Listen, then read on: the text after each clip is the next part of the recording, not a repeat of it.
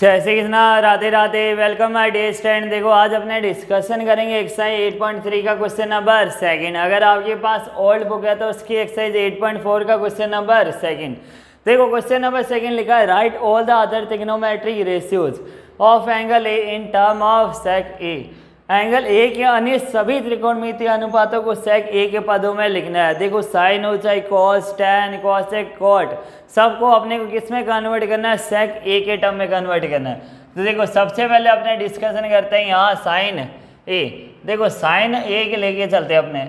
यहाँ ध्यान रखना साइन ए तो मैंने आपको पहले ही बताया कि जितने ही आप फॉर्मूले अपने 8.3 में अपने इसमें यूज़ करेंगे, ये सारे फॉर्मूले मैं आपको इंट्रोडक्शन बता चुका हूँ। अगर आपने वो फॉर्मूले नहीं देखे तो पहले अच्छे से वो फॉर्मूले लिख लो और अच्छे से लर्न करो।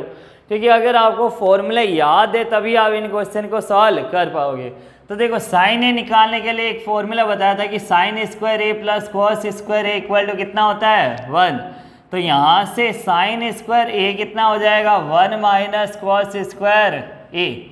Sine square A कितना हो जाएगा? One minus cos square A. अब देखो, अपने को कन्वर्ट करना है सेक ए में। तो पहले यहाँ देखो, साइन ए कितना हो गया? वन रूट में one minus cos square A इतना आ गया।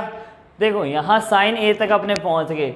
अब अपने को सेक ए में कन्वर्ट करना है। तो देखो कॉस ए को अपने क्या लिख सकते हैं? कॉस ए इक्वल टू होता है वन अपॉन सेक ए क्या होता है? Cos A equal to one upon sec A यहाँ लिखा है कॉस स्क्वायर है तो इसको अपने क्या लिख सकते हैं? वन अपॉन सेक स्क्वायर है तो यहाँ कितना आ जाएगा? देखो रूट में one minus one upon sec square A इसका अगर अपने यहाँ एलसीएम लेंगे, कितना आ जाएगा? सेक स्क्वायर ए और यहाँ आएगा अपने पास sec square A minus one. तो देखो साइन ए का अपने पास फॉर्मूला आ गया। कितना आया? रूट में sec square A minus one upon sec A देखो, सबसे फ़र्स्ट अपने पास कौन सा फॉर्मूला आ गया? यहाँ साइन ए का। साइन ए का फॉर्मूला कितना आया?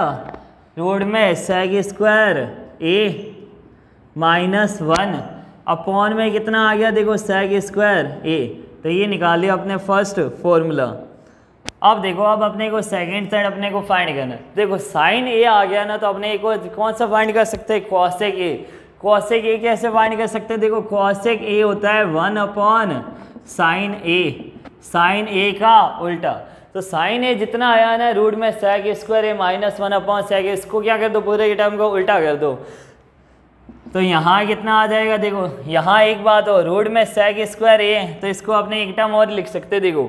जब इसको रूट से बाहर निकालेंगे तो यहाँ कितना आ जाएगा रूट में सैक ए कितना हो जाएगा रूट में सैक ए देखो, एक स्टेप और बढ़ा लो पहले यहाँ। यहाँ कितना हो जाएगा? देखो रूट में sec square A minus one यहाँ जब अपने इसका स्क्वायर रूट निकाला, कितना आ गया? देखो सेक ए और यहाँ अपने पास आ गया ये साइन ए तो साइन ए का फॉर्मूला कितना हुआ? रूट में sec square A minus one upon में सेक ए अब अपने को निकालना है कॉसेक ए तो देखो कॉसेक ए होता है वन अपॉन साइन ए तो मतलब साइन ए का उल्टा तो सेक ए ऊपर आ जाएगा रूट में sec square A minus one क्या हो जाएगा? नीचे आ जाएगा। तो देखो कॉसेक ए कितना आया? सेक ए अपॉन में कितना हो जाएगा? रूट में sec square A minus one ये अपने पास आ गया कॉसेक ए का फॉर्मूला तो देखो कॉसेक ए का फॉर्मूला कितना है अपने पास? कॉसेक ए कितना आया फॉर्मूला सेक ए अपॉन में कितना हो गया? देखो रूट में sec square A minus one ये आ गया अपने पास सेकंड फॉर्मूला तो देखो साइन ए आ गया अपने पास और सेकंड आ गया कॉसेक ए अब अपने को फाइंड करना है टेन कॉट और साइन आ गया कॉसेक आ गया टेन कॉट कॉसेक और सेक उसमें से देखो सेक में तो सबको करना है तो टेन कॉट और कॉसेक फाइंड करना है. अब देखो, अब अपने कौन सा फॉर्मूला फाइंड करेंगे? साइन और कॉसेक के बाद। सबसे इजी फॉर्मूला कौन सा है? देखो कॉस ए अब चाहो तो आप इसको इतना सा लिख सकते हो। कॉस ए इक्वल टू में कितना आ जाएगा? वन अपॉन सेक ए तीसरा क्या है? देखो इधर। तीसरा फॉर्मूला क्या है? कॉस ए इक्वल टू में one upon sec A cos A equal to में कितना है? वन अपॉन सेक ए तो थर्ड अपना पॉइंट आ गया कॉस ए इक्वल टू में वन अपॉन सेक देखो, अब साइन भी आ गया अपने पास में कॉस भी आ गया कॉसेक भी आ गया। अब रहा टेन या कॉट दोनों में से अगर अपने एक फॉर्मूला निकाले तो दूसरा कोट अगर अपने टेन निकाले तो कोट निकालने के लिए टेन का उल्टा कर लेंगे।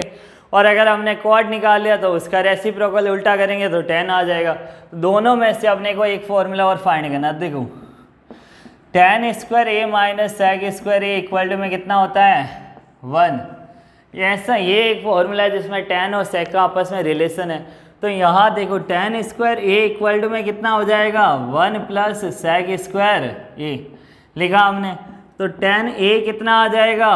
रूट में one plus sec square A tan A कितना आया अपने पास में? रूट में one plus sec square A अब देखो, अब टेन आ गया, अब अपने क्या चाहिए? कोट तो टेन ए का इन्वर्स क्या होता है? Cot A one upon cot A तो टेन ए की वैल्यू कितना हो जाएगा? देखो वन अपॉन कॉट ए तो वन अप, अपने को क्या चाहिए था? Cot A tan A one upon cot A होता है सही है लेकिन अपने को क्या फाइंड करना है? कॉट ए तो वो कितना हो जाएगा? वन अपॉन टेन ए देखो, लिखने में आप दोनों को लिख सकते हो। यहाँ टेन है लिखा, वन अपॉन कोट है। मैंने क्या कहा था? अगर एक वैल्यू आ गई दूसरी वैल्यू फाइंड करना है इसका उल्टा करना है बस। अब यहाँ टेन ऊपर आया था तो देखो, अब इसका इन्वर्स करेंगे, अपॉन में आ जाएगा। वन अपॉन में रूट में one plus sec square A ये किसकी वैल्यू आ गई अपने पास? क्वाट ए तो देखो, हमारे पास आ गया, साइन ए कितना? रूट में sec square A minus one upon sec A कौसे के आ गया सेक ए अपॉन में रूट में कितना आया था? देखो sec square A minus one cos A कितना है? सीधा फॉर्मूला है one upon sec A tan equal to में आ गया रूट में one plus sec square A और कोट ए आ गया वन अपॉन में रूट में one plus sec square A तो ये आ गया अपने पास 500 और इन सबको हमने किसमें कन्वर्ट कर दिया? सेक ए में। तो स्टूडेंट अगर आपको मेरी वीडियो पसंद आई तो लाइक शेयर एंड सब्सक्राइब ज़रूर कीजिए। Thank you so much best of luck